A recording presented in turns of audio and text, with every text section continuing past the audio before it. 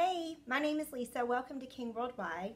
Today we're going to be doing a practical application of basically Bible study, or we can call it, excuse me, we can call it Bible study, we can call it um, time with Jesus, we can call it number one priority, appointment.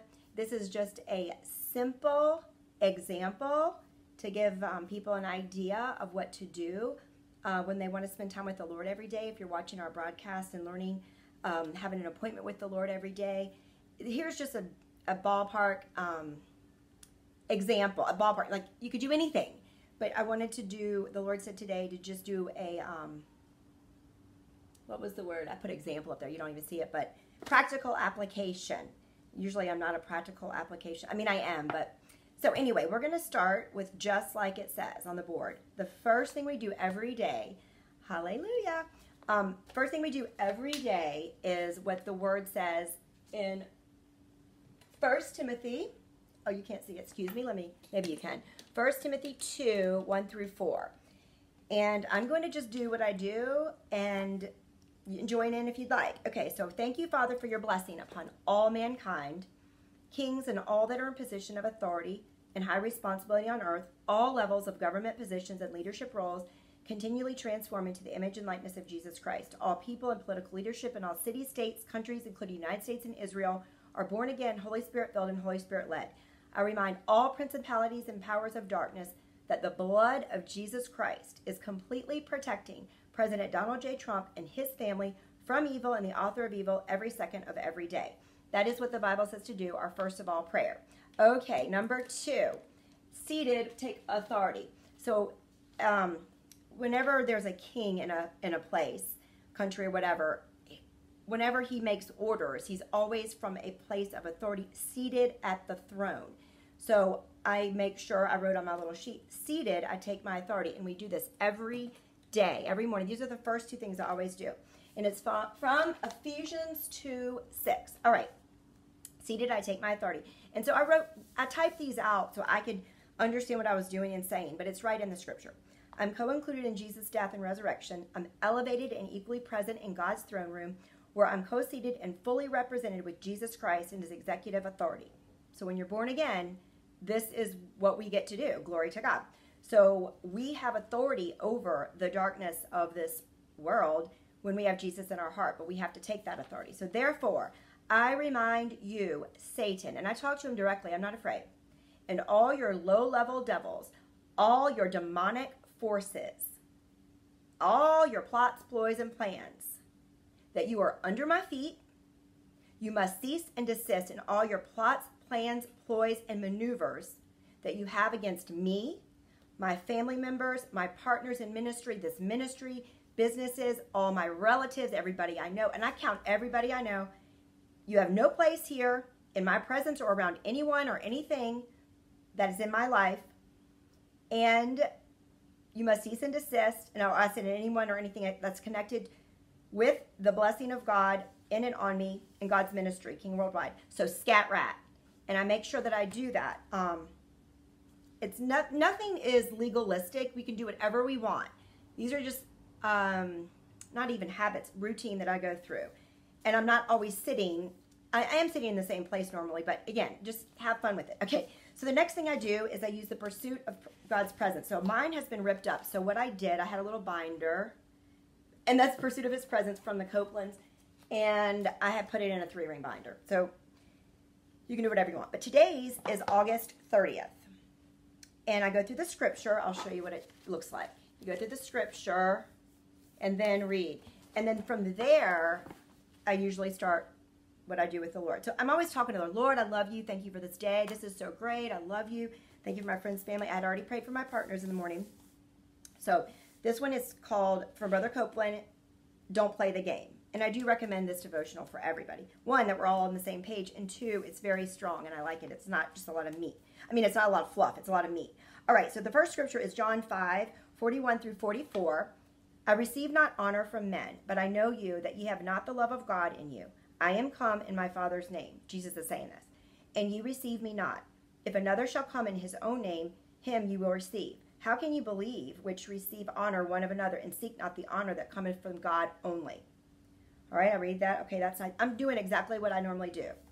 All right, so honor. Godly honor. It's the kind of honor that keeps its word and standard of integrity no matter what. It never fails, it always succeeds. I, I like to highlight and write. You can do whatever you want. Every day, commitments of honor are required of us.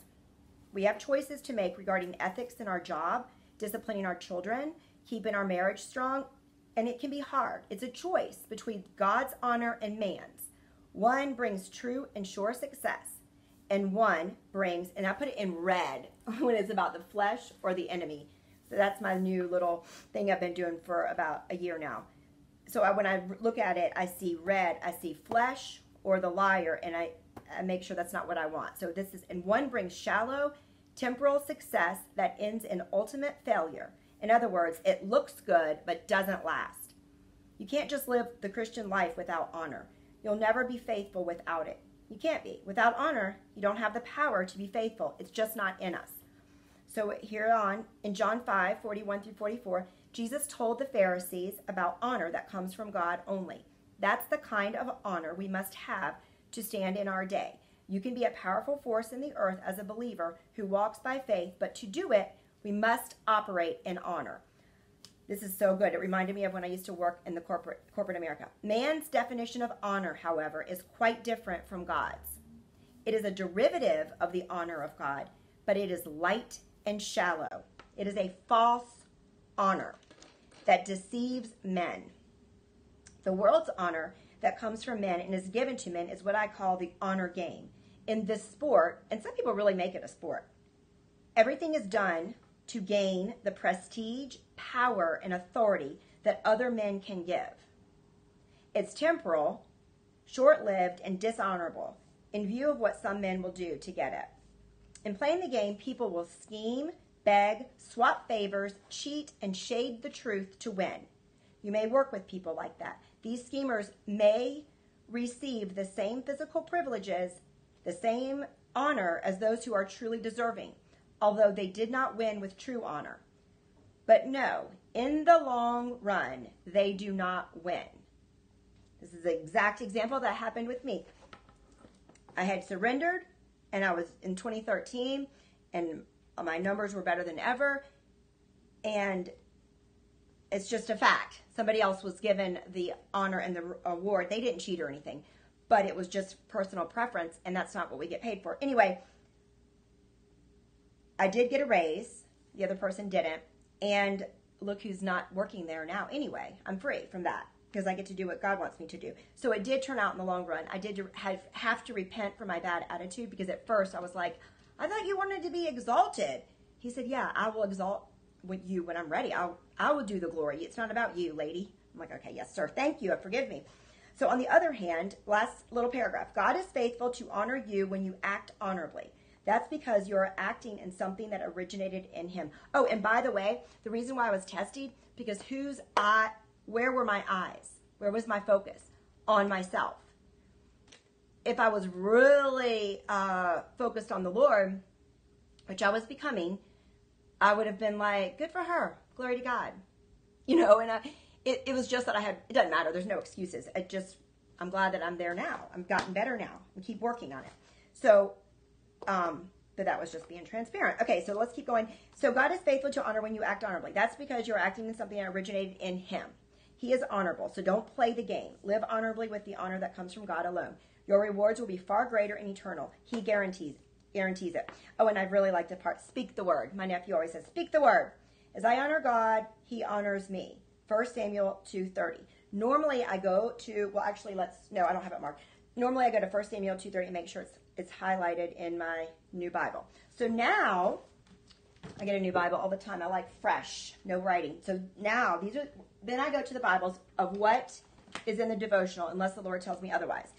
So here is I like to do a parallel. This one is King James, New King James and Amplified. I wanted new and then mirror. Mirror, this is the study Bible. All right. I know everyone pick your Bibles. Do whatever you want. You don't have to even do this. You can stay in King James and you can probably know more than anybody in the world. It's just, I didn't understand poetry when I was in high school, college. I didn't like it. I, I just didn't. I like, I learned on King James. So I like New King James. I like it all. But point is, I used King James for three or three, four, actually seven years. So thank you, Mom. I know. Which ones do you use? Would you like to type and tell us? You're so precious with your verse by verse. But verse by verse, I'm going to do the verse John 5. This is just an example today, and it's verses um, 41 through 45, and I'm going to do the example of verse by verse by verse. You don't have to do it. It's it was just it was what the Holy Spirit suggested that I do, and it really changed me. And I didn't even know how much I was being changed. So I will begin with John 5 41. And I'm going to start in, I'm going to go in this order New King James, Amplified Mirror. Okay, here we go. John 5. I do not receive honor from men. Now, normally I would probably do that, start at the John 5 in the very beginning, but this is just for an example. I do not receive honor from men. Okay, now I'm going to. I receive not glory from men. I crave no human honor. I look for no mortal fame. Okay, now let me get into the mirror. I am not, oh, I like this one so much. I am not anchoring my belief in people's opinion. Okay, ding, ding, ding. That I could just write in my journal right now about that.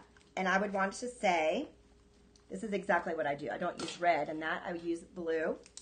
And I'm going to do date it. And I'm going to just write a note to myself. Again, you don't have to do this. This is what I like to do to help me learn, even though I have it all red and highlighted and all, just to show you, it's, it's that's how it is, but I still like it. So do what you want. So I, so I'm going to put it in here. I, and I'll put the mirror. I am not anchoring my belief. I'm not going to write it all because for time in people's opinions. And then I would further say in myself, in people, in things, in flesh. I would add those things because I'm like, obviously he's saying anchored in God. So let's keep going.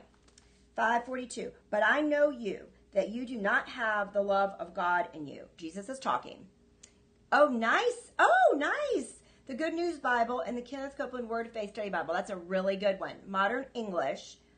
And it's really, I think it says in the beginning that the modern English is the newest King James Version. Thank you. Very nice. Okay, so then next we go to 42. But I know you and recognize and understand that you have not the love of God in you. He's talking to the Pharisees, I think. Now let's go in mirror. Ooh. But what I observe about you is that God's love does not resonate within you people. He says within you. You're so obsessed with the rule book that all you see in it is a God of judgment and wrath and miss out on God's love okay, I'm going to highlight God's love part and put in my journal God's love, number one. I mean, I know these things are silly, but it's just fun. To me, how can anyone be bored doing this? At first, it might seem like a lot. You got to have a space, you got to have your Bibles. I like doing the full Bible because there's too many temptations on electronics electronics unless it's just an electronic Bible. I don't know how, who makes those that are just that. So anyway, there's too much distraction, but notification. So I like to have it all here, and then I write notes in here. Do what you want. The point is getting to know God and spending time with Him in His Word. Okay, next. 43. I have come in my Father's name, and you do not receive me. If another comes in his own name, him you receive. Amplified. I have come in my Father's name and with his power and you do not receive me. Your hearts are not open to me. You give me no welcome. But if another comes in his own name and his own power and with no other authority but himself, you will receive him and give him your approval. Amplified. Okay, we're still at 43. Thank you for the sounds. Okay, Jesus is saying, Here I am representing my Father, Father God. And you have a problem with that. Yet someone completely unknown to anyone will come in his own name and you will give him your full support. And in the notes it says, How strikingly has this been verified in the history of the Jews? From the time of Jesus Christ to our time, 64 false Christs have been reckoned by whom they have been deceived. That was from Bengel, B-E-N-G-E-L. Okay, one last verse for clarification for this video. How 44. How can you believe who receive honor from one another and do not seek the honor that comes from the only comes from the only God? 44 on amplified. How is it possible for you to believe? How can you learn to believe? You who are content to seek and receive praise and honor and glory from one another. Okay, I'm going to put that in red right away. I don't want to have any praise from one another. And I don't want to seek it either. Who are content to seek and receive praise and honor and glory from one another, and yet do not seek the praise and honor and glory which comes from Him who alone is God. Glory to God. Okay, now we're in 44. This just happens to be a little negative about the Pharisees, but it's not. It's just so good. How is it possible for you to even venture into the dimensions of faith? So, this is what I would take from this. How can we walk and live by faith if we're staying in the natural, focusing on the natural, focusing on self or what other men, women, people think? That's the point. Okay, blessed are my eyes that see clearly and perfectly at every angle in my life. If you already have your minds made up to go with popular opinion, or who's most popular, or has the most followers, or who has the most entertaining antics, then um, within your own ranks, while you show no desire to esteem him who proceeds directly from God. And it's so true. The word of God is being preached and spoken from various, you know, lots of people actually. And a lot of times it's not entertaining. It might not feel good. Those that are open and hungry, they will be blessed. It's opening their hearts and they're they're opening their hearts and they're receiving what God has for them. It has nothing to do with the speaker or the video videographer or, or the person. It's the anointing of God that destroys yokes and changes things. All we're supposed to do is be obedient it would be ridiculous if I tried to, to take lessons on talking because one, that's not what he told me to do, and two, it's not about me. It's really about God. And the best part of life is allowing the Word of God, what we're doing right here, to change us from the inside out. And um, so, for to wrap this up, so the Bible study, this is what I would do. It depends on what your time is with your Lord and what appointment you've made every day.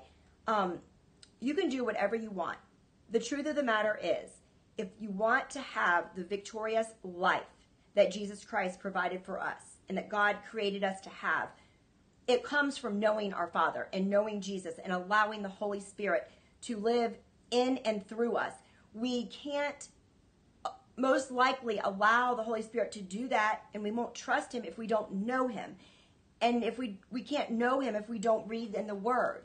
And so when the Lord showed me how to do it this way, I wasn't very, before I wasn't going to just stay, I wasn't excited about just reading King James. I did like the New Testament, but at this point, I, I was actually going to do whatever he said for me to do. And then he told me that in the beginning. It was so nice. And then he told me to add the third Bible. And it's not about the exercise, it's about being in the Word every day. In consistency lies the power. So enjoy your time with the Lord. If just make it consistent and it'll change your life. It'll change your life. You'll hear him speak. And so we will see you on Monday. I know it's good, it's the holiday, but we I'm sure that we'll still be filming and with God's way of success. Oh, and we're going to be announcing that we're on podcast now. All a lot of podcasts are being uploaded right as we speak. And so if those of you don't want to be tempted from other things on YouTube or distracted um, and watch videos, we'll be able to watch listen to them podcasts. Okay, have a great weekend. Talk to you soon.